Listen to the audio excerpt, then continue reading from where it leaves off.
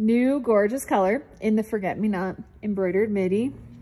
So pretty with the pop of the embroidery. The fabric is amazing. It drapes so nicely. It is not sheer, so there's no lining. And in the sleeves, love those flowy sleeves with the soft elastic across there. So comfy. So much good smocking up top, great coverage and in the back. And with this added length, it makes it so easy to size down. I'm wearing the size small.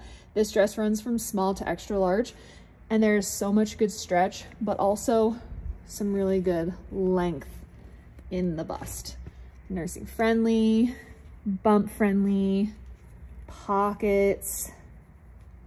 So this is the small. I'm about a size six up top, eight below. And just a heads up, this has a frayed hem.